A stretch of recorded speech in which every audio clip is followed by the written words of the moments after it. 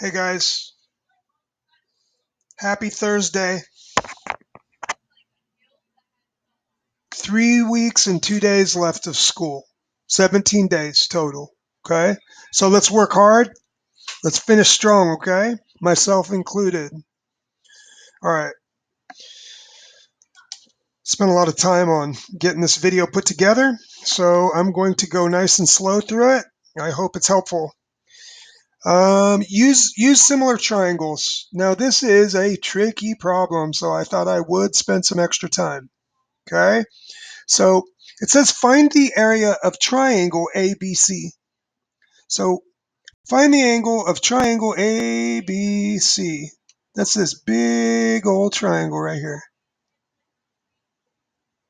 A, B, C. And it's only giving me very limited information, okay? It's only giving me 3.0 for the side AC, and it's only giving me a little bitty part of AD down here. It's like, how the heck am I going to find everything it needs, right? Well, first off, let's let's go over the area of a triangle real quick, in case we need a little review here. So find the area of the following triangle. We're gonna we're gonna do this problem right here, okay? Over here as an example. But right here, I'm giving you the notes, and I'm giving you the formula. Area of a triangle equals one half times the base times the height.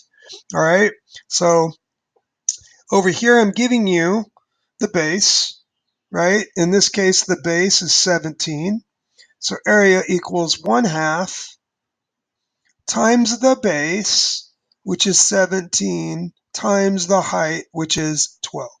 If you punch this in your calculator, you will see you will get 102. And let's just write units squared. Okay, so that's just a quick review of the area of a triangle. Okay, all right, now back to the problem. Now what you can see here is I've color coded some things. Here's my original triangle over here. Okay, and you can see um, I have color coded the base as pink. That goes along with my base. You can see my formula down here. And then the height is right here. That's length DC. Okay, so I need to be able to find both of those measurements before I can find the area of this triangle. All right, so what I've done here is I have drawn, I've redrawn my triangle over here. Okay, and then what I'm going to do is I'm going to split this into two triangles, and that's that's what's happened down here in this drawing. Okay? So what you can see down here is that I've split it into the two triangles, right? So what I have down here, I'm going to go ahead and label these down here. So this triangle right here, this is going to be A, D, C. Okay? This big triangle, this big triangle is triangle A, B, C. Now we need to use the fact that these two triangles are similar. Well, which sides correspond to one another? Well, we know that angle A is equal to angle A, right? We also know that this angle right here is a right angle, okay? This angle right here is a right angle.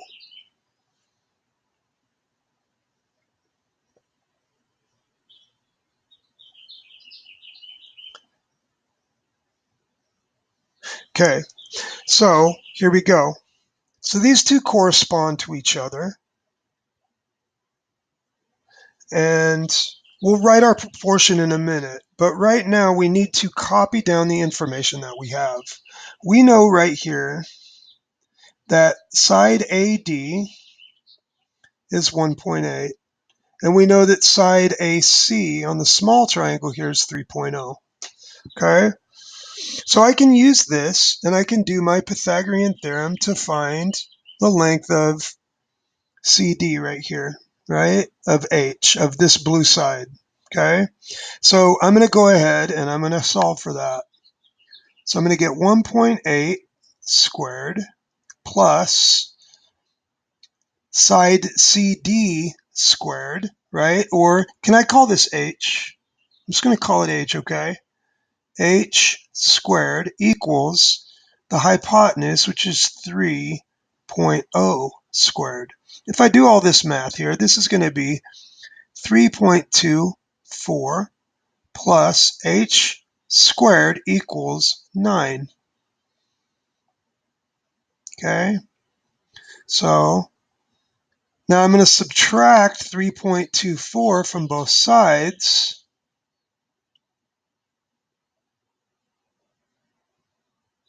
And I'm going to get h squared equals 9 minus 3.24, which is 5.76.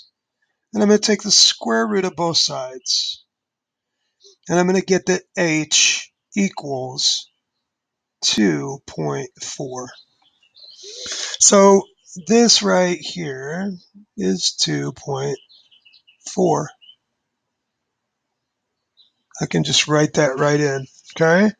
2.4 this is 2.4, all right? 2.4. all right. Now, well, okay, I have all the sides of this one triangle, right? But I don't have any sides of my other triangle, right? This big long AB, I don't have the whole side. Well, guess what? We we can do a little trick here. All right. So we know that we know that AD equals 1.8, but we don't know what DB is. So let's just call DB X. So if I call that X, what is the length of this entire side right here? All right, what's the length of this entire side? All right, now, well, it's 1.8 plus x, right? This whole side, the whole pink side is 1.8. I'm going to write this in. 1.8 plus x. All right? Okay. Now, what does this side equal? We know that, we already know this side equals 3.0, okay? So we're kind of in good shape here, all right? Um, now we just need to make a similarity statement. And what sides correspond to what sides? And this is where it could be a little bit tricky, okay? So we need to realize here that side AD corresponds to side AD corresponds to side A C right? AD corresponds to side AC and how do I know that? It goes from the congruent angle A to the 90 degree angle on each one of them, okay? So AD is to AC as, and then now we need to compare side AB, okay? Well, excuse me, let's, let's go back to the small triangle. What side in the small triangle corresponds to side, let me write, draw an arrow here what side in the small triangle corresponds to this side, this side AB? Okay, that's going to be the trickiest part here, right? So if you said that side AC corresponds, so AC in the little triangle corresponds to side AB. you would be correct here. Okay. So now what we need to do, we're just going to keep in mind that the, the, these two measurements in the top, those are from the small triangle. These are from the bigger triangle, right? So we need to remember that. All right, so AD on the small triangle is 1. I'm gonna I'm gonna carry this equation up to the top of the page. So AD is 1.8 over AC in the big triangle is 3.0. AC in the small triangle is 3.0. And AB, which is the magic length that I want to find here, equals 1.8 plus x.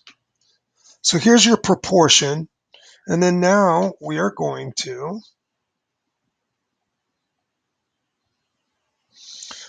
multiply these. So I'm going to multiply 1.8 times 1.8 plus x. And that's going to equal 3 times 3, which is just 9. Now I'm going to use distributive property. 1.8 times 1.8 is 3.24 plus 1.8 times x equals 9. All right, so I'm going to subtract 3.24 from both sides.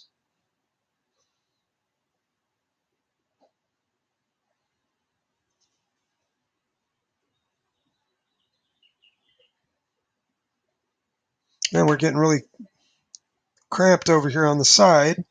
So I'm going to get 1.8x equals 5.76. I'm going to divide both sides by 1.8. So 5.6 divided by 1.8